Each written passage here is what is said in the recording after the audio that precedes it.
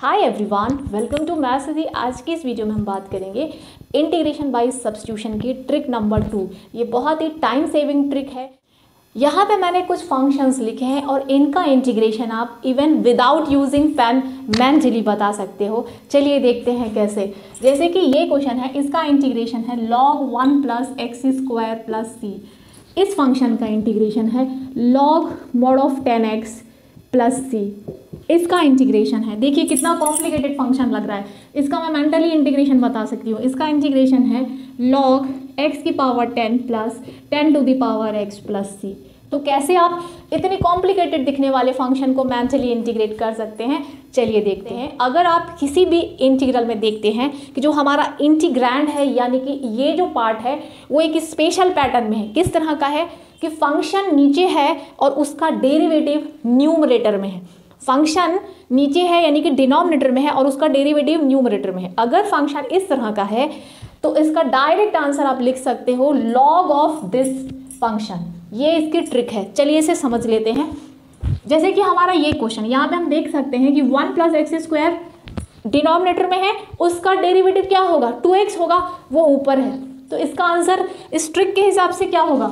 Log one plus x square इसमें mod लगाने की ज़रूरत नहीं क्योंकि नेगेटिव नहीं हो सकता। तो इसका इंटीग्रेशन ये हो जाएगा। इस क्वेश्चन की बात करते हैं। यहाँ पे फ़ंक्शन नीचे है टेन एक्स टेन एक्स का डेरिवेटिव क्या होता है? सेक स्क्वायर एक्स होता है ना? तो वो ऊपर है। इसका इंटीग्रेशन डायरेक्ट क्या होगा?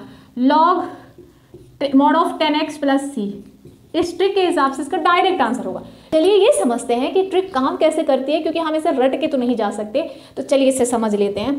मैंने कहा कि डायरेक्ट आंसर आप लिख सकते हो, लेकिन ये आंसर कैसे आ रहा है और प्रोसीजर क्या है? अगर हम कंसेप्शल वे से आगे बढ़े तो क्या यही आंसर मिलेगा? देखिए, अगर मान लीजिए ये क्वेश्चन आपको दिया जाता है, आप इसमें क्या करोगे? आप इसमें टेन एक्स को मान लोगे टी और इसको फिर करोगे डिफ्रेंशिएट तो sec square x is equal to t का डेरिवेटिव एक्स के रिस्पेक्ट में d t by d x अब डी एक्स को इधर ले आओ तो ये जाएगा sec square x into d x equal to d t हो जाएगा.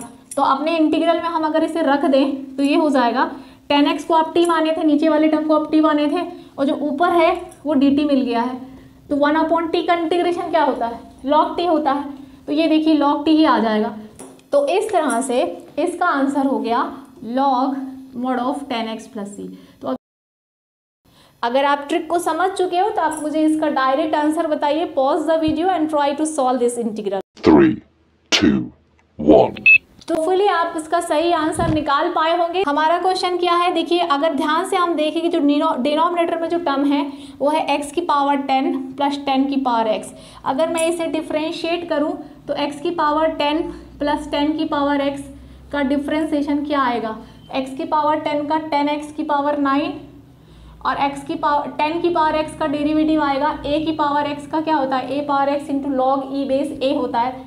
तो लॉग ई बेस टेन आ जाएगा। यानी कि ये कुछ और नहीं है न्यूमरेटर में डिनोमिनेटर का डेरिवेटिव प्रेजेंट है। तो चूँकि ये हमारा इंटीग्रल भी इस स्पेशल पैटर्न का है तो इसका आंसर होपफुली आप बता पाए होंगे। इसका आंसर होगा लॉग ऑफ़ डिनोमिनेटर यानी कि लॉग ऑफ़ एक्स की पावर टेन प्लस टेन की पावर एक्स प्लस सी ये है इसका डायरेक्ट आंसर होपफुली ये ट्रिक आपको पसंद आई होगी. इसी तरह के ट्रिक्स और टेक्निक्स लेके हम लोग आते रहेंगे. Thank you for watching